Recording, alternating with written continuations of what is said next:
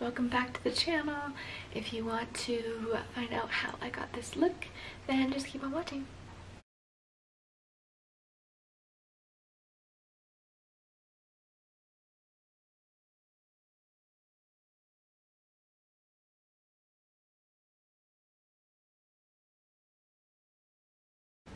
Now taking my Tarte Shape Tape um, concealer in the shade Light Medium, I'm going to spot conceal.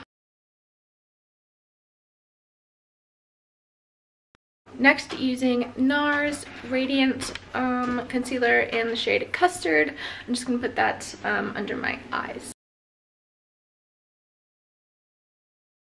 And then with the Tarte Shape Tape in the shade Light Sand, I'm just going to go right under my eye and a little bit here to lift the eye. Now I'm just cream cut.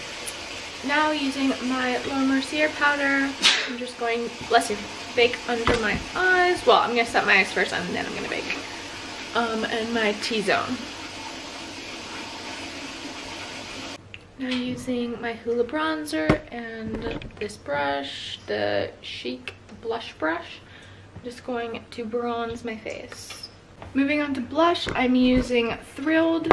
Um, it's a Tarte Amazonian Clay 12 Hour Blush.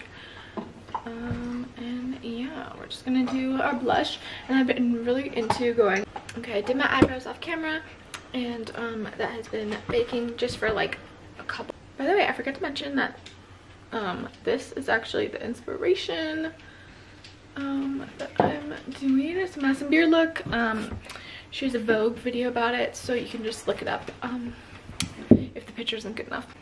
Okay, so I just um, shut the curtains just because looking at the camera is really hard with, when the sun is like right there. So um, I'm gonna use just a white shadow just to inner highlight my eye. Um, I'm not using anything shimmery.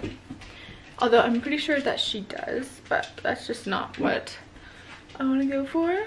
Lining, just like a wing, and then my inner inner corner. I'm not going all the way. Okay, I did the liner, but the lips are breaking me, so I'm just gonna quickly fill them in.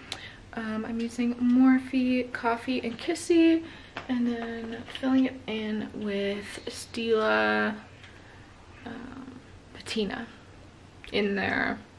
Stay All Day Liquid Lipstick. Okay, now we're going with eyeliner um, to tightline and um, go on our waterline.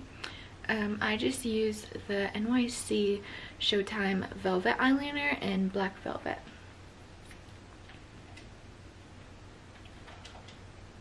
Now mascara. I have been using the um, Lancome one, that new one, Lash Idôle or something. Um, and I'm gonna do the bottom and the top lashes.